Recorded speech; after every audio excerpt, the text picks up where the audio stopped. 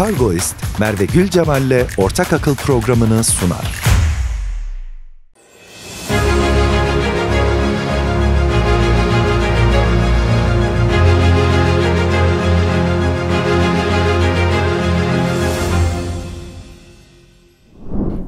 Esselamu Aleyküm sevgili Ortak Akıl izleyicileri. Yeni programımıza hoş geldiniz. Bugün yine çok kıymetli iki hanımefendiyi ağırlayacağız. Aslında birisi çok yakın arkadaşım.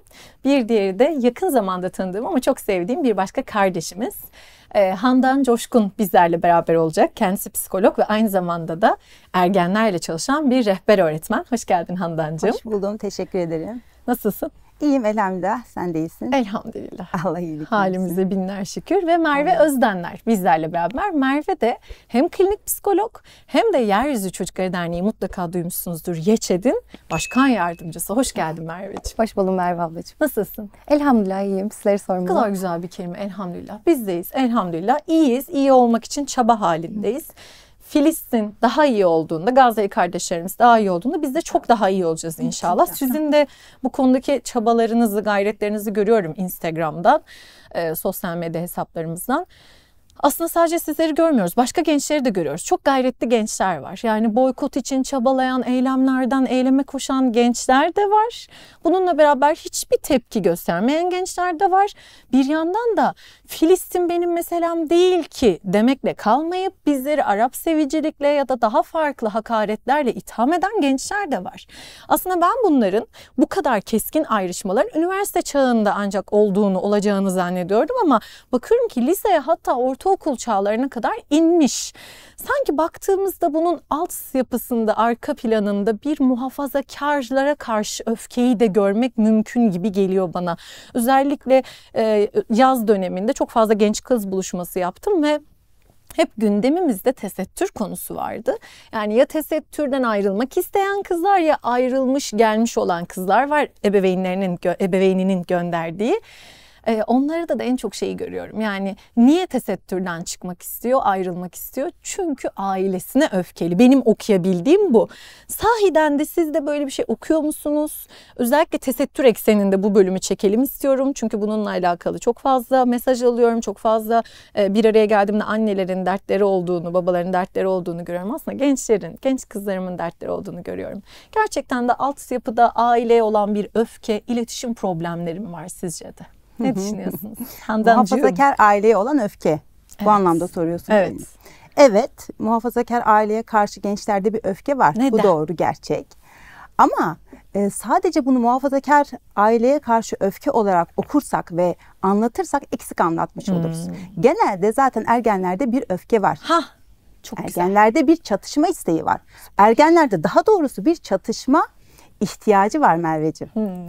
Bunu da en yakın olarak kiminle sağlıyor? Kimden gidermeye çalışıyor? Ebeveyn, anne ve baba. Niye bu bir ihtiyaç? Çünkü bir arayış içerisinde, bir inşa içerisinde kimlik inşası evet. yapıyor. Her şeyi dene, deneyimleyecek, kişiliğiyle ilgili her şeyi deneyimleyecek. Her şeye bir bakacak bu ben miyim değil miyim? Hmm. Çatışma da bunlardan bir tanesi. Zaten ilişkilerin doğasında çatışma var. Hmm.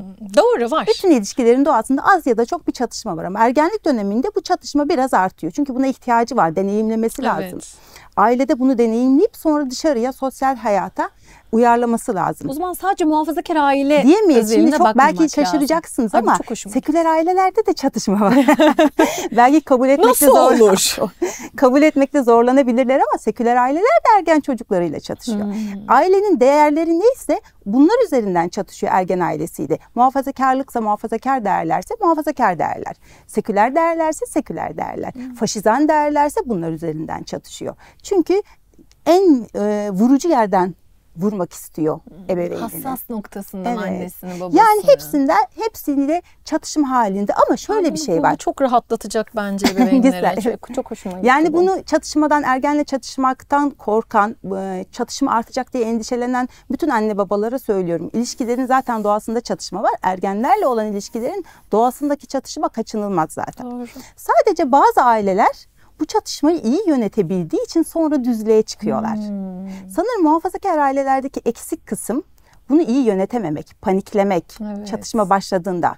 İtaatsizlik, benim otoriteme karşı bir başkaldırı, bir daha bu çocuk eskisi gibi olmayacak mı Bir endişesi. de herhalde günaha girecek yani girmesin. Evet. O kaygı da çok olduğu için. Evet evet. Bu çatışmanın sonunda bir günah gelir mi? Ee, benim elimden kayar gider mi? Ay. İşte iyi yönetenler ergenlik döneminde e, seküler ailelerde çok iyi yönetenler olduğu için belki de biz seküler ailelerde çatışma yok zannediyoruz. E, maalesef ki muhafazakar ailelerde çok iyi yönetilemiyor. Bu yüzden çok Orada çatışma da orada var zannediyoruz. kaygısı çok Evet. olduğu için yani eyvah evladım ateşe gider kaygısıyla muhafazakar aileler Evet. tabii yönetmekte güçlük çekiyor. Yalnız bu cümle şu an beni mesela çok rahatlattı. Yani tabii çok rehavete düşürmemesi Tabii. gerekir bu rahatlatma ama hani evet her e, kez bunu yaşayabilir. Bunu yaşamamızın bir sebebi var. Peki e, şöyle de değil mi aynı zamanda? Şimdi evet muhafazakar aileleri anladığımız bir nokta var ya eyvah çocuğum ateşe doğru giderse hani günaha doğru giderse yanmasın beni de yakmasın tabii o da var Tabii. işin içerisinde ama üslubumuzda da sorun var anlatmıyor olmamızda da sorun var ben genç kızlarla bir araya geldiğimde e, işte bana anlatıyor anlatıyor başörtüsünden ayrılmak istiyorum çünkü diye cümleler kuruyor ve aslında bu cümlelerin temelinde anlatmamışlar ona doğru düzgün niye tesettüre girdiğini, ebeveyn bununla alakalı sevgi dolu taşları döşememiş. Bunu konuşalım istiyorum. Yani nere, nasıl geldi oraya? Oraya geliş kısmını bir konuşalım istiyorum inşallah. Senin var mı Merve böyle çevrende gözlemlediğin ablacığım? Aileye duyduğu öfkeden dolayı tesettürden ayrılmak isteyen genç kızlar. Sen de görüyorsundur mutlaka. Tabii Hatta ki. bu arada çok dilerim sadece genç kızlar değil. Koca koca yetişkinler de görüyoruz. Evet. Merve abla ben burada biraz aslında dini yasaklar üzerinden anlatmanın da tesettürde ayrılma kararında e, çok etkili olduğunu görüyorum. E, ben elhamdülillah hani şu anda biraz daha korumalı bir çevredeyim ama daha evvel seküler bir çevreden geldiğim için kıyaslama örneklemim çok dar. Ama YouTube'dan videolar izliyorum ben de biraz daha anlayabilmek için. Ya da bizim de dernek vesilesi temas, temas ettiğimiz gençler oluyor. Onlarla biraz sohbet etmeye çalışıyoruz. Yani böyle e, ben Rabbimi öyle tanımadım. Merhametli sıfatlarıyla da tanıdım. E, affedici sıfatlarıyla da tanıdım. Ama aynı zamanda e, mesela dinde e, baktığımız zaman fıkha ergenlik dönemiyle ilgili ben bu terminolojiyi birazcık aradım. Yani nasıl Süpersin. değerlendiriliyor acaba diye. Evet. Gördüğüm şey aslında Blue çağına erer ermez çocuklara sorumluluğun teslim edildiği. Ee, biz birazcık e, sakınıyoruz galiba ya da o sorumlulukları çocuklara vermek konusunda e, emin mi olamıyoruz? Çok mu korumacı davranıyoruz? Daha sonrasında çocuk da kendini bu süreç içerisinde cayabileceği. Yani gençlerin aslında şunu birazcık anlaması gerektiğini düşünüyorum. Bazı şeyler yapılması gerekiyor. Canımızın biraz sıkılması, biraz yorulmamız gerekiyor.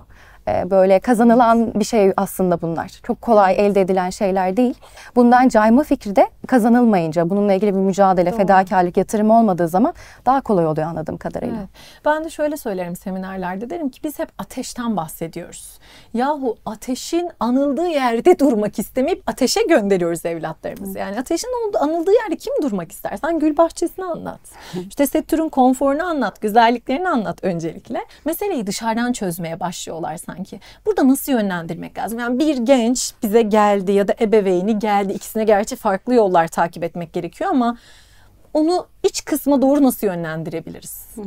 Dışarıdan kastın herhalde sosyal çevresi değil mi? başörtüsü. Dışarıdan çözmeye Ha, başlıyor. Yani tamam. ilk önce başını açarak problemi çözmeye başlıyor. Halbuki aileyle iletişiminde belki problem Evet, var. evet. Zaten şöyle bu başörtüsü mevzusuyla ilgili, tesettürden ayrılma mevzusuyla ilgili biz en çok aileye olan öfkeyi ele alıyoruz ya. Aslında sadece bu değil. Bazen özgüven eksikliği, bazen dışlanma korkusu Hmm. evet, gençlerde, akranlar evet. tarafından dışlanma korkusu. Doğru. Bazen sosyal çevrede kabul görmeme, bazen de gelecekle ilgili kaygılar. Bu şekilde devam edersem gelecekte kendime sosyal ortam, bir sosyal ortam bulamam, bir e, akademik ortam bu- bulamam, bir iş ortamı bulamam. Bu tür kaygılar. Bunlarla da başörtüsünden, tesettürden vazgeçme durumu olabiliyor. Sadece aileye öfke dersek ailelere haksızlık Doğru. yapmış olabiliriz. O da var ama sadece o değil. O zaman ne yapacağız? Neyse problem önce onu anlamaya çalışacağız. Neyse bu çocuğun tesettürden ayrılma motivasyonu önce onu anlamaya çalışacağız. Sonra o yönde çocuğu desteklemeye çalışacağız. Özgüven eksikliği ise özgüven eksikliği. Hayır değil aileye olan öfke, iletişim sorunları ise o zaman orayı çalışırız. Yani önce sebebi, içerisini, Tespit derini edelim. anlatı, anlayıp ondan sonra ona çalışmak faydalı olacaktır. Doğru. Yani önce ne problem ne problemi saptayıp sorunu saptayıp ondan sonra devam etmek lazım. Evet. Ama e, bazen evet biz aileye daha fazla yöneliyoruz. Yani şu açıdan da yöneliyoruz. İşte bazen iletişim kazaları olabiliyor. Bazen yeterince sevgi tohumları ekilmemiş olabiliyor. Ee, bazen de tabii ailede değil mesele. Yani aile elinden gelen her şeyi yapmış ama çevreyle karşılaşmış çocuk. Başka faktörler de var. Tabii bu çevreyi de bana kalırsa aile biraz daha yönetmek için çabalamalı diye düşünüyorum. Yani genelde şöyle oluyor. Ya İmam Hatip'e yolladık daha ne yapsaydık Merve Hanım? Orada da iyi bir çevreyle karşılaşmadı diyorlar. Ben de onlara diyorum ki o çevreyi siz inşa edeceksiniz. Hafta sonları kurduğunuz gruplarla, ekiplerle. Fakat sadece bu da değil. Siteler var mesela. Ben en çok onu görüyorum. İnternet siteleri var. İşte e, yalnız değilsin diyelim biz şimdilik. İsmini vermek ve daha fazla tanıtmak istemiyorum çünkü. Bu mesajı veren siteler var ve kızları onları okuyup şöyle bir mesaj çıkartıyorlar. Ben de başarabilirim. Çıkarttıkları alt mesaj bu çok ilginç bir şekilde. Yani ben de aileme karşı bu mücadeleyi verebilir ve kendi ayaklarım üstünde dimdik durarak ben de kurtulabilirim bağlarımdan, prangalarımdan kurtulabilirim gibi addediyorlar maalesef. Siz bu tarz şeyleri gözlemliyor musunuz? Gerçekten de çok etkisi oluyor mu hakikaten sosyal medyanın, medyanın, çevrenin çok fazla etkisi oluyor mu? Sen bunu gözlemliyor musun mesela Merveciğim? Kesinlikle etkisi oluyor. Hatta e, biz gençlerle beraber oturduğumuz zaman sosyal medya kullanımımızla alakalı bayağı bir konuşuyoruz. Alışkanlıklarımız neler, kimleri takip ediyoruz. Bununla ilgili biraz araştırma tarafına da bakmıştım. Şu anda şu an bu platformun, YouTube'un aslında çocukların fikirlerinin şekillendirilmesi, hatta bilgilerin de buradan al- alındığı, eğitimin buradan alındığı, o yüzden çok etkin bir platform olduğu. Bu yüzden de buradaki içeriklerin daha da önemli olduğu. Mesela sizin burada olmanızın çok önemli Estağfurullah, çok olduğu mesajı da çıkmış oluyor. Bence de öyle. Dediğiniz gibi aslında Merve abla çocuklar bir şekilde o siteleri belki de bulacak. Bu fikir olacak ama siz de varsınız başkaları da var. Şimdi şunu söyleyebilir miyim müsaadenle? Sen Tabii söylediğin ki, için tabii Merveciğim. Bana çok kızanlar oluyor. Bu aralar en çok aldığım eleştiri bu gerçekten kalp kırıcı, hat aşan ifadeler de oluyor. Ya işte tesettürlü kadının orada ne işi var? Güzel kardeşim. Ha, hakikaten hiç olmasak yani evimizde ya da işte daha helal dairelerde daha uygun ortamlarda bir şekilde bir araya gelebilsek ama böyle bir gerçek var ve bu gerçekliğin içerisinde ben olmazsam o çocuk beni izlemezse o genç kız beni izlemezse emin ol ki bir başkasını izleyecek Aynen ve sen diyorsun ki sen orada olmamasın o zaman kim burada olmalı? Kime müsaade ediyorsun burada olması için? O burada olduğunda senin kızın nasıl ilgili, etkilenecek bundan? Hiç bunu acaba tefekkür edebiliyor muyuz? Burayı tefekkür Boşluk etmemiz yani lazım. e, bizden boşluk bırakmamızı istiyorlarsa o boşluğu kim dolduracak? Aynen O öyle. boşluk doğası gereği dolması zaten. gerekiyor evet. Evet. Kim dolduracak o zaman dolduranlarla ilgili ne düşünecek? Evet. Böyle Biz kendimiz yani. bıraktık, boş bıraktık ve doldurdular. Hep doldurdular. Peki, evet özellikle sosyal medyanın çok fazla etkisi var dedik. Ebeveynler bu konuda nasıl uyanık olmalı? Yani benim kızım ne yapıyor, kimlerle görüşüyor, neler takip ediyor? Bunları nasıl fark edecek ebeveynler? Bir kere sosyal medyayı kullanacak. Yani ben ebeveynlerden şunu diyebiliyorum. "Aa, hocam ben Instagram falan o benim vaktim yok. E, işte ben doğaya bakıyorum, hayır işlerine bakıyorum. Çok güzel bak ama sosyal medya kullanmak zorundasın.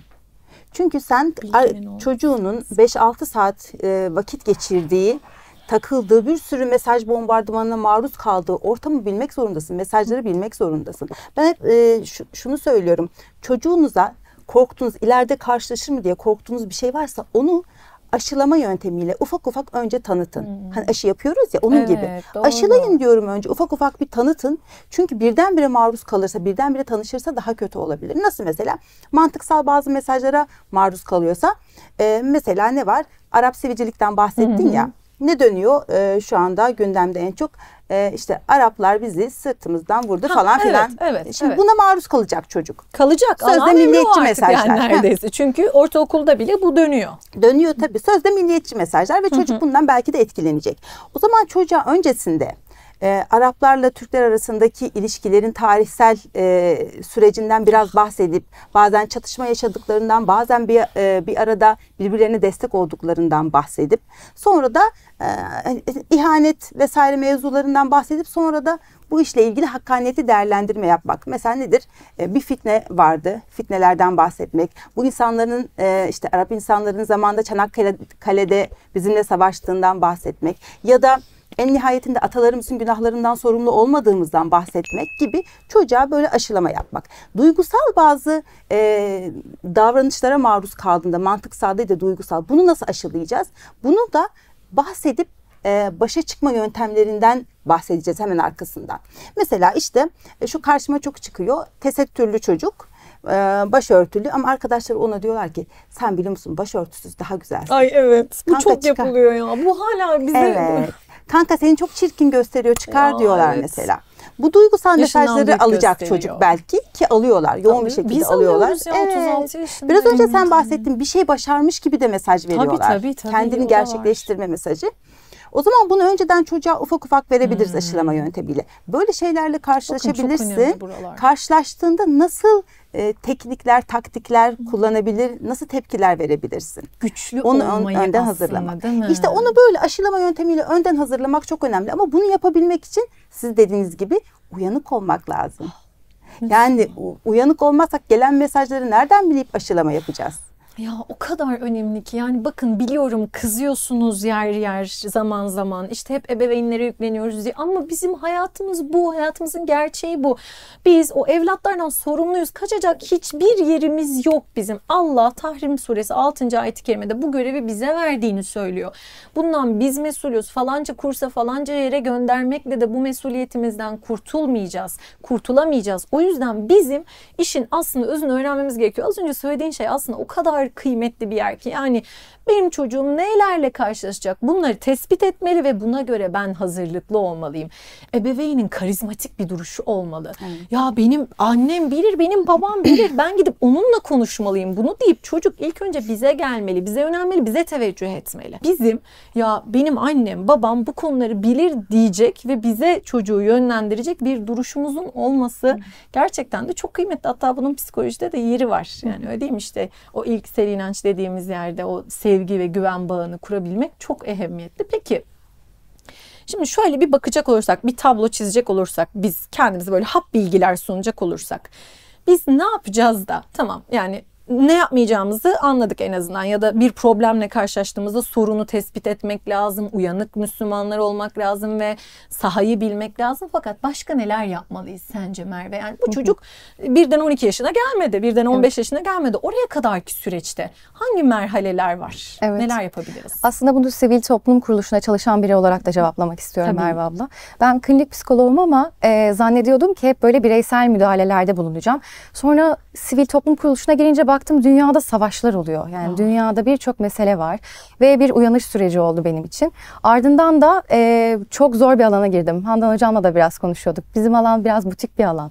Pek böyle e, çocukların hepsine nasıl ulaşalım diye çok kafa yoran kişiler az ya da çalışmalar sayıca az. Ama bizim derdimiz hem bir Müslüman olarak bu hem de e, bu mesleği yapmak istiyorsak bir şekilde buraya da yönelmemiz gerekiyor.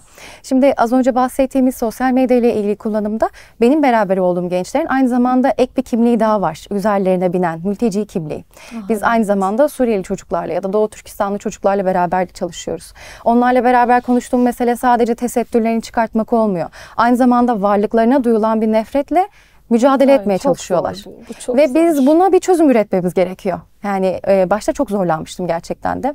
Hani e, önce kendi insanlığımı test ettiğim bir süreç oldu elbette ama daha sonrasında şöyle bir yöntem bulduk. Biz e, derneğimizde çok e, çocuk dostu alan dediğimiz her yaştan aslında 18 yaşa kadar hitap eden alanlar oluşturuyoruz. Ve üniversiteli mentörleri bir şekilde oryante ediyoruz. Hatta Antan Hocam da bizim e, vaktinde gönüllerimizi oryante eden e, uzmanlarımızdan bir tanesiydi. Orada çocuklara çok basit bir şey yapıyoruz Merve abla. Diyoruz ki gönüllülerimize. Çocuklar buraya gelecek, göreceksiniz yani. Mesela benim ilgilendiğim çocukların matematiği ilk başta aldığında 20 idi. Neredeyse eksi 5'e düşecekti yani. Hiçbir Ay. ilerlemede bulunamadık. Benim rolüm mentörlüktü belki de ama benden beklenen bu değildi. Hiçbir zaman bana sorulmamıştı. Ee, çocuğun ilerledi mi e, matematik e, alanında diye. Bana sorulan şey şuydu. Ona soruyor musun nasıl olduğunu? Sınıfta bu çocuklar görünmüyor. Ee, biraz daha Evet, hayal et. Ya da bir şekilde artık onlar da bir reaksiyon veriyor ve tabii ki de dışlanmaya maruz kalıyorlar. Ama bizim onları bir şekilde kazanmamız gerekiyor. Sorularına cevap arıyorlar. Ergenlik dönemi dedik, tam kimlik arayış dedik. Evet. Dolayısıyla biz çok basit bir şey yapıyoruz. Onlara inanıyoruz. Ee, burada kendin olabilirsin diyoruz. Bir yemek pişiyorsa bütün kültürlerden pişiyor. Bir şarkı açılıyorsa bütün kültürlerden açılıyor. Ve çocuk en sonunda reaksiyon vermeyi, savaşmayı bırakmaya başlıyor. kabul edildiğini hissetmek Aynen öyle. bir şey demek. Aynen evet. öyle. Ergenler de aslında görünürlük ve aidiyet. En iki kilit kelime. Bir yere gittiği zaman benim varlığımla yokluğumun bir farkı olsun istiyor. Evet, çok Hakkı. doğru. O yüzden ben Ahmet sen mi geldin? İyi ki geldin. Gözüm seni aradı. Neden geçen hafta yoktun? Bunu söylediğim zaman Ahmet bir daha devamsızlık yapmıyor. Aslında mesele o bağı kurabilmek, Evet, aidiyeti öyle. kurabilmek. Ee, özellikle şimdi konu tesettür olduğu için de annenin bu bağı kurması gerekiyor bu kapsamda öyle değil mi? Küçüklükten itibaren yani belli bir yaşı beklemeden o bağı kurabilmek için doğru hamleler yapması gerekiyor. Ama biz bazen burada atladığımız şeylerin olduğunu, bizim atladığımız şeylerin olduğunu düşünüyorum. İki nokta var konuşalım istediğim Handancığım. Birincisi e, kendi tesettürümüzle alakalı sevgimizi, tesettürümüze olan yani düşkünlüğümüzü ifade etmiyoruz. Evlatlarımıza işittirmiyoruz. Bir bu problemimiz var. Bir de aslında ikisi farklı konular ama unuturum sonra diye sana bu yükü yükleyeceğim. ben de not alayım. Erkenden yüklüyoruz sorumluluğu. Yani aidiyet kursun diye düşünüp 5 yaşındaki kızlarımızı mesela tesettürle mesulmüş gibi yükümlü imiş gibi e, sorumlu hale getiriyoruz onları. Diyoruz ki senin artık sen böyle gezmesin çünkü biz böyle gezeriz diyoruz. Ama Peygamber Efendimiz Aleyhisselatü Vesselam böyle bir şey uygulamamış. Allah çocuktan böyle bir şey beklememiş. Biz biliyoruz ki hadis-i şerifle sabittir. Üç kişiden kalem kaldırılmıştır. Bunlardan birisi buluğ çağına erinceye kadar çocuktur. Ne demek yazmıyor. Günahları yazılmıyor. Sadece buluğ da değil. İslamiyet'te mükellefiyetin yani sorumlu olmanın iki şartı var. Bali ve akil olması. Yani buluğa bazen 8 yaşında da girebilir. Ama bakalım doğruyu yanlıştan ayırt edebilecek akilliği var mı? Bunun da ortalaması 12, 14, 15 arasında e, geziyor. Bireye göre hareket etmek gerekiyor. Şimdi aidiyet kursun diye çocuklara Allahü Teala'nın ve Efendimiz Aleyhisselatü Vesselam'ın yüklemediği sorumluluğu yükleyelim mi? Biz bu aidiyeti nasıl kuracağız? Şunu da mı söyleyeyim unuturum. Şimdi bana kızacaklar çünkü ya yükleyeceğiz tabii olacak tabii ki. Ben benim güzel başörtülerim diye kitap yazdım. 5 yaşındaki kızlar için yazdım. Ama oradaki kız her gün örtü takmıyor. Bir örtü çekmecesi var. Başörtüsü çekmecesi var. Bazı günler takıyor. Bazı günler takmıyor. Çocuk olduğunu idrakinde. Sen bize ne diyeceksin? Yöntem yani aslında en Evet. sonunda altını çizdiğin. Yani çocukları bir haber yetiştirelim demiyoruz zaten. Şimdi şunu şunu soruyorlar bana ulaşan ebeveynler, anneler. Ee, çocuklara e, özellikle tesettürle ilgili işte kılık kıyafetiyle ilgili ya da başka şeyler beslenmesiyle ilgili katı kurallar koyalım. Hiç denemesin de alışmasın mı? Evet, evet. Yoksa e, serbest bırakalım iyice hani e, tatsın alsın. sonra daha kolay mı geçiş yapsın? E, ikisinin arası diyorum. Bunun Muazene, cevabı ikisinin denge. arası denge. Tamamen bırakmak ya da e, asla katı kurallar koymak e, sakıncalı olur sizi de hedefinize ulaştırmaz. Ama şundan dipnot olarak düşeyim. Dengeye rağmen yine de başarılı olamayabiliriz. İmtihan yine de gelebilir. Ay İşte adı üstüne imtihandır çünkü. Sadece şurada şey çok önemli. Katı kurallar koyma çok tehlikeli bence. Belki bana da kızacaklar ama bunu söylemek ama. zorundayım. Evet, çünkü görüyoruz, çok örnek görüyoruz. Tepkisellik kuramı diye bir şey var. Eğer bir çocuğa ya da bir ergene ya da bir yetişkine de yetişkin için de geçerli. Bir şeyi katı kurallarla söylerseniz özgürlüğünü kısıtlıyorum diye katı kurallarla söylerseniz özgürlüğünü kısıtlamaktan dolayı nahoş bir tepkisellik doğar içinde. Nahoş bir duygu. Ee, itaat etmek gerekiyorsa bile bu nahoş duyguyu hisseder. Bununla başa çıkmak için de, bu nahoş duyguyla başa çıkmak için de yasaklanan davranışı e, hayata geçirir. Eylem olarak yapar ki bak yine de başa çıktım. Özgürlüğümü kısıtlayamadım. Bu yüzden katı kurallar koymamak, e, daha yumuşak gitmek, daha anlatarak, e, daha ona alan açarak, ufak ufak deneyimlemesine izin vererek e, gitmek faydalı olacaktır bence. Değil mi? Yani güzel sözler de söylemek. Ben tesettürümü çok seviyorum. Mesela Handan'ın bana fark ettirdiği bir şey vardı. Rahat etmemizi vurgulamak. Ben Evet. tesettürümle çok rahat ediyorum. Böyle giyindiğim zaman işte kolum açılmıyor. İşte orası açıldı mı burası belli oldu mu diye böyle kendimi huzursuz hissetmiyorum. Yürürken, gezerken ne kadar rahatım bu şekilde, ne kadar huzurluyum. Bunu vermek ve genç kızlarımıza da aslında doğru ifadeler kullanmak. Yani zannediyorlar ki bizi silmek için tesettür var. Aslında var etmek için tesettür var. Bunu kime soruyoruz aslında biliyor musunuz? Söyleyebilirim değil Tabii mi ki. Merveciğim? Hatta hikayeni de dinlemek istiyorum. Ee, henüz bir yıldır tesettürle elhamdülillah, Elhamdülillah. e, tesettürle barışmış, tesettürle şereflenmiş diyelim inşallah. Elhamdülillah. Bir hanımefendiye soruyoruz aslında. Bir yıl önce tesettüre girdin ve nasıl bir fark var sence? Hiç beklemediğim bir şey. Öncelikle e, ben tesettüre girmek hiç istemedim Merve abla. Biraz da Allah dürüst Allah. konuşalım. Yani e, içinde bulunduğum ortam vesaire hiç elverişli değildi. önce ortamımı değiştirmem gerekti. E, çünkü neden irademi zorlayayım? Evet. Aslında biraz daha gençlerin şu an zorlandığı noktalar. Ben neden e, açıldığım videolarında hep şeyleri görüyorum. Yani içinde bulunduğum ortamları kabul görmüyorum. Evet. Bu ortam senin için ne anlama geliyor? Ya da Rabbinle ilişkinde o ortamın yeri tam olarak nedir? Ah. E, bu önemli bir konu. Ben e, tesettürümle şu an elhamdülillah çok rahatım, çok özgüvenliyim ama bunun bence arkasındaki motivasyonu biraz da şu. E, dediğim gibi çok istemeyerek sadece Rabbim için, onun rızasını kazanmak Ay. için ve artık ilişkimizin o noktaya geldiğine inandığımdan utandım. Yani çünkü dedim ki hani ben aslında. bazı farzları yapabiliyorum ve diğer için diyorum ki merhamet diliyorum. Ben onu yapamam. Yani Öyle bir şey olur. bana olmaz o. Hani benim işte ortamım falan. Sonra Fatma Bayram hocamızın yine bununla ilgili çok güzel e, anlatıları oluyordu. Bir sefer bir sohbetine demişti ki aynaya karşı itirazını söyleyebilir misin? Sanki Allahu Teala'nın karşısındaymışsın gibi. Ben bunu biraz denedim ve e, yani kendime hiç yakıştıramadım Merve abla. Çünkü ben ilerlediğime inanıyorum. Bir şekilde Rabbimi seviyorum diyorum, peygamberimi seviyorum diyorum ama sonradan anladım ki sevdiğini Ee? söylemek aslında gerçekten fedakarlık isteyen bir şeymiş. Evet, emek isteyen bir evet. şeymiş. Seviyorum deyince sevilmiyormuş. Ya da ben Onun Filistin için. davası için de aynı şeyi hissediyorum. Ben e, maalesef hayat yaşantım neticesiyle 3 yıldır e, belli meselelerin içerisinde Ay yer alabiliyorum. Google'dan arattım yani. Ama maalesef demeyeyim çok şükür elhamdülillah. Elhamdülillah Evet. tabii ki de. Geç olmasının hiçbir önemi yok. Evet. Son nefesimizi verene kadar vaktimiz var Elhamdülillah. E, Google'dan aratmıştım yani Filistin davası ne demek? Dava. Çok ağır gelmişti bana bu ifadeler. Ya, ben dava sahibi ah olmak canım. istiyorum deyince olamamıştım yani. Ağır Evet. gelmişti. Hatta terapiye gidiyordum ben de o zamanlar anlatıyordum. Terapistim de anlamamıştı çünkü o da o davaya sahip değildi. Yani dolayısıyla bu süreç aslında kişinin e, böyle ilmek ilmek ördüğü bir süreç olduğunu düşünüyorum. Ben şu an memnunsam, özgüvenliysem gerçekten onun altının yani inşallah Rabbim katında da öyledir dolu olduğuna inandığım için. Dolu olmasa e, ben de derim yani çok hoş kıyafetler var ya da benim çok Tabii hoş ki, kıyafetlerim vardı. ki. Açıkken dediğiniz gibi belki de daha alımlıyım. Evet, Ama yani ben tabii bunu- ki ama bu zaten tabii ki böyledir yani. Hanımefendiler mi- yaratılış itibariyle güzeldir ve güzelliğinin de yani marifet iltifata tabidir. Evet bizden gelen bir marifet değil ama allah Teala'nın verdiği bir güzelliğin tabii ki bilinmesini, görülmesini hepimiz isteriz. O yüzden zor gelen de bir ibadet elbette. Kesinlikle. Ama seni böyle toplumdan sildi mi tesettürlü olmak? Tam tersine. İşte onu ben duyalım. buraya çıkamazdım. Ya. Yani e, çünkü e, dernekte olduğum zamanlar ekran karşısına geçmemle ilgili bazı e, talepler alıyordum. Hmm. Ama içimde hep arkadaşlarım diyordu ki işte ya sen tesettüre girersin çıkma. Ben de içimden diyordum ki yani öyle bir ihtimal yok ama hani ben utanıyorum kendimi ekranda öyle göstermekten. Yani söyleyecek bir Evet. fikrim varsa da bu halde söylemeyi yakıştıramam. Çünkü hep zikrimde bir şekilde Aa. bunları referans vermek isterim ve insanlar der ki bu ne biçim bir tezatlık. Ya şöyle bir Yakıştıramazdım ya, hani kendime. ayağına Kudüs gücü gelsin diye çok severim. Aslında bu olduğu zaman da Müslümanım ben gücü geliyor. Yani bunu haykırabilirim. Elbette henüz tesettürlü olmayan kardeşlerimiz de elbette Müslüman. Ama bu size bu kimlikle beraber bir güç vermiş oluyor. Ya ben Müslümanım ve beni dışarıdan gören birisi zaten Müslüman olarak anlar.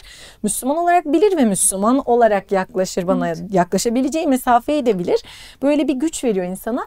Çok güzel bir şey söyledin aslında. Her gün namazda söylüyoruz. Bismillahirrahmanirrahim. İyyâke na'budu ve iyyâke nestaîn. Yalnız sana kulluk eder, yalnız senden yardım isteriz. Ortam putu, el alem putu, başkaları Evet. ne der? Çok net bir şekilde şunu söyleyin kendinize. Başkaları kim? Aynen öyle. Ne kadar kıymetli benim için. Benim için önce Rabbim. Ama tabii bizim kullandığımız çocuklara verdiğimiz ifadelerde de problem var. Gençlere verdiğimiz. İşte mesela çürük elma örneğini anlatıyoruz gençlere. Diyoruz ki bak elmanın kabuğu tesettür. Eğer kabuğu olmazsa sinekler başına üşüşür. Yani sen şu an tesettürlü değilsen ki bir de bunu henüz tesettürlü olmayan bir kıza söylüyoruz. Demiş oluyoruz ki ona sen çağırıyorsun sinekleri başına. Bu sefer gardını alıyor ve ne demek diyor ben bunun için yapmıyorum. İşte o bana bakmasın zaten. E, haklı olduğu bir yerde var tabii ki ilk emir gözlerimize geliyor sonuçta. O sana bakmasın doğru. Ama böyle donelerle verilerle gittiğimizde de geri tepiyor. Yani nasıl anlatmak lazım gençlere tesettürü doğru ifadelerle? Senin için mesela Handan, sen de sonradan, Evet. yani ben şimdi 12 yaşında tesettüre girmiş birisi olduğum için anlatabileceğim bir hikayem yok. Yani ben babamın sevgisiyle beraber, bu çok önemli, aidiyet dediğimiz yer işte o Kesinlikle. kadar seviyordum ki adamı. Hani diyorsunuz ya Allah o kadar çok seviyorum ki onun için yani bir şey yapmalıyım. O benden bir şey istiyorsa bilirim ki sadece benim iyiliğim için istiyor. Ben de babam benden hiç talepte bulunmamıştı ama onun mutlu olacağını biliyordum. Sonra zaten o sevgi daha aşkın bir sevgiye, Rabbimin sevgisine dönüştü ve zaten çok lezzet alarak tesettüre devam ettim ama senin hikayeni de merak ediyorum ve belki bu hikayeden gençlere nasıl anlatabiliriz'e dair cümleler de çıkartırız. Tabii ki. Ben de geç e, vakitte tesettüre girdim maalesef. Üniversitenin sonlarına doğru. Ee, ama şu yani her zaman hayatım bir taraftan da hayatıma dikkat etmeye çalışıyorum. Ee, çok fazla açık giyinmemeye çalışıyorum vesaire. Ve özellikle o dönem benim e, öğrenci olduğum dönem başörtülü arkadaşları içeriye almıyorlardı. Başörtülerini çıkarmaları gerekiyordu. Bunlarla ilgili ciddi bir öfke yükseliyor içimde. Böyle bir haksızlık, bir öfke yükseliyor içimde. Aslında buraları güzel kullanmak Evet, lazım değil mi gençlerde? Çünkü gençlerin içinde bir isyan hali vardır. Yani Evet. doğru yere sevk etmek lazım onu. Kesinlikle. Herkeste vardır. Yani benim çocuğumun o taraklarda biz yok. Hayır. Bütün ergenlerde bir dava boşluğu vardır. Orayı doldurmak Ya, gerekir. çok doğru, çok Evet, güzel. Evet. Ben de e, başörtülü arkadaşları savunmaya başladım. Bunlarla ilgili ses çıkarmaya başladım. Gazetelerden haberler kesip dolaplarıma yapıştırıyordum vesaire. Neredeydin sen? Ama kendim bu arada tesettürlü değilim bu arada. Bunun çelişkisini tıpkı ben de Merve gibi hissetmeye başladım. Ya. Yani Allah seviyorum, namaz vakit namazlarımı kılmaya çalışıyorum. Başörtülü arkadaşlarımı destekliyorum ama dönüp baktığımda ben başörtülü değilim. Sebebi ne? Kendime bunu sormaya başladım. Neden başörtülü değilim? Neden örtünmüyorum? Doğru olduğuna inanıyorum, e, savunuyorum. Neden örtünmüyorum diye bunu sormaya başladım. Ee, şunu gördüm, gelecek kaygısı vardı Merve. Şöyle bir gelecek. Ben Gerçekten tabii mi ya? üniversitede Ama e, öyleydi bizim zamanımızda evet. özellikle öyleydi. Üniversitedeyken Hala var. akademisyen olmak istiyordum ve bana gelen mesaj neydi? Başörtülü olursan akademisyen olamazsın, Olamazsın. ömrü billah ilerleyemezsin. Evet. Buydu mesaj, apaçık bir mesajdı ve öyleydi de gerçekten ilerleyemiyorlardı. Ben akademisyen olmak istiyorum, biliyorum yapmam gerekiyor ama örtünmeyeceğim. Bu beni gerçekten çok sıkıştıran bir şeydi. Ama sonra tıpkı Merve gibi ben de bu çelişkinin e, bana yakışmadığını düşündüm. Yani çok uzun süre düşündüm hatta e, final zamanıydı galiba. Ya. Finalde de vize zamanıydı. Başörtüsü örtmeli miyim, örtmemeli Ah. miyim? Böyle düşünüp duruyorum. Hatta ar- esprisini yaparım. Çıktım odadan dedim ki arkadaşlarıma ben kapanıyorum. Sınav zamanı ya arkadaşlar da zannetti ki odaya kapanıyorum ders çalışacağım. tamam kapan biz seni rahatsız etmeyiz dediler. Hayır hayır dedim ben başörtüsü örteceğim. Ee, yani aslında o mesajı almışlar, o sinyali almışlar benden ama dile getirmemişler rahatsız etmemek için. Ve ondan sonra örtünmeye başladım. Yani hangi mesajları alıyorsa gençler bununla ilgili tam oraya çalışmak lazım. Doğru. Biliyor musun Merve şu anda ciddi bir umutsuzluk propagandası var gençlere. Ekonomik durumdan ötürü, Evet, doğru, e, sosyal ortamdan ötürü, işte e, yaşadığımız coğrafyanın etrafındaki savaşlardan ötürü çocuklara bir umutsuzluk pompalanıyor. Ve bu umutsuzluğun altında muhafazakar değerlerle doldurmaya çalışıyorlar. Siz muhafazakar olduğunuz için e, biz bu hale geldik. Hmm, doğru evet Ve bu tabii, yüzden tabii, de doğru. umutsuzuz yurt dışına gitmezseniz yandınız. Ya, bu mesaj evet. veriliyor Evet, çocuklara çok ve çocuklar ciddi bir umutsuzluk içerisinde. Şimdi bu çocuğa sen muhafazakar değerleri anlat, bu çocuğa sen e, farzları anlat, başörtüsünü anlat. Her her ne kadar kabul etse de bir taraftan arka planda mesaj dönecek. Evet. Diyecek ki "Hı hı, hiçbir şey olamaz. İlerleyemezsin. Bak bu başımıza gelenler hep böyle. Bunlardan muhafazakar değerlerden ötürü. O yüzden hangi mesajı alıyorsa çocuk onu bilmek Hmm. ve onun e, o mesajın üzerinde çalışmak gerekiyor. Evet. Aşılama yöntemini de bu- burada da kullanabilirler İşte bunun ebeveynler. için de uyanık ebeveyn olmak, sahayı bilmek, neler Evet. dönüyor, çocuklarımızın kulağına neler üfleniyor, neler fısıldanıyor bunları bilmek lazım. Peki var mı son olarak söylemek istediğiniz şeyler? Merveciğim var mı senin? Bu söylediğinizi artırabilirim Merve Hı, abla. Ben evet. bu meslek hayatımda her gün karşılaşıyorum. Biliyorsunuz ki biz dernek olarak kadınlardan oluşan bir derneğiz. Ee, ve kriz bölgelerinde çalışıyoruz. Yani bir yerde bir problem olduğu zaman bu benim mesleğim. Ben oraya gitmem gerekiyor. Aynı dediğiniz durumla her gün karşılaşıyoruz. Biz deprem bölgesine gittiğimiz zaman e, diğer vakıftan başka abilerimiz bize demişti ki ne yapıyorsunuz siz burada? Hani Niye geldiniz? Hani ne amaçla geldiniz? İşte bir hemşirelik bir ihtiyacı mı var vesaire. Allah Yok hayır ben e, program yöneticisiyim görevim e, ben burada görevimi yapmaya geldim. Kadınlarla çocuklarla ben ilgileneceğim inşallah. Yani siz ne yapıyorsunuz aslında onu yapmaya Evet. geldim. Ya da işte daha Orta Doğu'daki ülkelere gittiğimiz zaman bizimle Senin konuşmayan var, beyler. Orada işte şunu da altını çizmek isterim aslında Evet. Merve abla. Ben Suriye'ye de giriyorum ama her yerine girmiyorum. Yani ben Allah rızası için bu işi yapıyorsam helal olduğundan da emin olmaya çalışıyorum Evet, elbette. maşallah O yüzden bir yere gidiyorsam güvenlik şartlarımın olduğundan da tabii ki de emin Tabii oluyorum. ki. Ama dediniz ya hani burada olmamızla ilgili de yorumlar var. Evet. Biz olacağız bazı yerlerde. Hatta ben tesettürlü olduğum için bu işe çok daha daha rahat bir şekilde Evet, yapabiliyorum şu anda. ki. Elhamdülillah. Ya. Çünkü bir Müslümanın geldiğini anlayabiliyorlar. Evet. Bir Müslüman inşallah gelecek ve maalesef bizler gitmediğimizde oralara kimlerin gittiğini, hangi farklı ajandalarla, e, farklı misyonlarla, bir şekilde misyoner çalışmalarıyla e, o çocuklara, Müslüman çocuklara kimlerin dokunduğunu da görüyoruz. O yüzden Allah'ın izniyle biz orada olacağız. Biz her alanda olacağız. Aynen. Çok Kimse önemli. kusura bakmasın. Biz artık her alandayız. Her alanda da olmaya devam edeceğiz. Peki senin var mı son olarak söylemek istediğin Evet şey Merveciğim. Handancığım? Ben de bu öfke mevzusuyla ilgili bir şeyler söyleyip öyle kapatmak Çok istiyorum. güzel oldu. E şimdi öfkeden bahsettik ergen çocukta ve dedik ki muhafazakar aileler iyi yönetemediği için diğer ailelerde olan öfke e, nihayete eriyor ama onlar da devam ediyor. Peki belki sorabilir e, izleyicilerimiz nasıl iyi yöneteceğim? Hah. Bana yönteminden bahset. Kısaca Tabii. söyleyeceğim. Birincisi çocuğun öfkesini kabul etmek. Onaylamak demiyorum ama kabul etmek. Evet var böyle bir öfke çünkü. Evet, bu var. Yok sayamam. öfkelendin. Çatışmadan korkmamak. Çatışma oldu tamam oh bittik yani. Çocuğun kişiliğine çatıştığı için saldırmamak. Ya çocuk tamamen elimden kaydı endişesine kapılmamak. O Evet. senin çocuğun aranda bir bağ var ve o bağ öyle kolay kolay koparamazsın. Elhamdülillah. Bu bağı koparmamak için de, bu bağın sağlamlaşması için de bütün bütün çatışmalara rağmen çocuğa bütün çatışmalar, bütün öfkelere rağmen sen benim için değerlisin ve seni çok seviyorum. Tüm bu olanlara rağmen, Evet. tüm kızgınlıklarıma rağmen sen benim için değerlisin ve Bu seni çok çok seviyorum. Bu mesajı sık sık vermek. Bir örnek vereceğim Tabii. Merve. Ee, bir e, birisinden dinledim ve izin aldım bunu paylaşmak için. Ergenlik döneminde beş vakit namazını kılıyor ve çok önemsiyor kılarken. Ama annesi bir taraftan onu sürekli namaz kılmasını telkin ediyor. Nasihatlerde bulunuyor. Zaten ve takip ediyor. Hayır anne anne ile arasında çatışma var. Anneye çok öfkeli. Bu yüzden namaz kıldığını anneden gizliyor. Ay Kılmıyormuş gibi yavrum, davranıyor. Ama abdestini alıp namazını kılıyor. Ama Oo. anneyi kılmıyormuş imajı oluşturuyor. Çünkü anneye karşı öfkeli. Anneyi belki de cezalandırıyor bu Evet. şekilde. Yani bir çocuğumuzla aramızda bir e, öfke, bir e, öfke duvarı varsa önce ona çalışalım. Çatışma duvarı varsa önce ona çalışalım. Sonra vermemiz gereken mesajları tesettür, namaz Çok ondan sonra vermeye çalışalım. Çok önce arayı bir düzeltelim. Çok güzel oldu. Ben çok merak ettiğim ve biliyorum ki ebeveynlerin de çok merak ettiğini bildiğim sorulara cevaplar buldum ama daha fazlası muhakkak ki vardır. Ben söz vermeden sözü aldım, saydım, cebime koydum. Eğer varsa sorularınız bize iletin, e, yorumlara yazın. Yeni bir bölüm için ikna edelim müsait vakitlerinde. E, Handan'ı ve Merve'yi tekrar ağırlayalım ve bu konuyu ben tekrar konuşalım. Açıkçası çok istiyorum İnşallah. çünkü çok kanayan bir yere farkındayım. Son söz olarak ben de şunu söyleyeceğim müsaadenizle. Çok güzel bir şeyden bahsetti. Dedi ki imtihan olacaksak olacağız. Evet Hazreti Nuh peygamber de imtihan oldu. Bunca çabasına rağmen biliyoruz ama şunu da unutmayalım.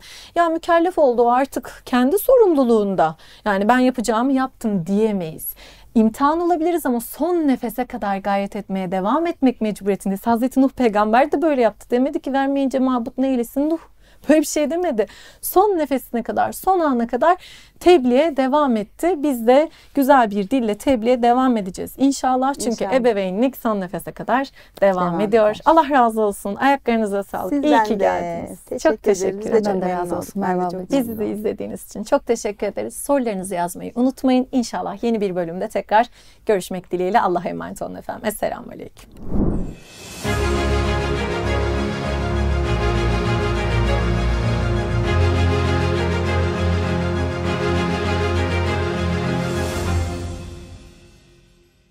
Kargoist Merve Gülcemal'le Ortak Akıl programını sundu.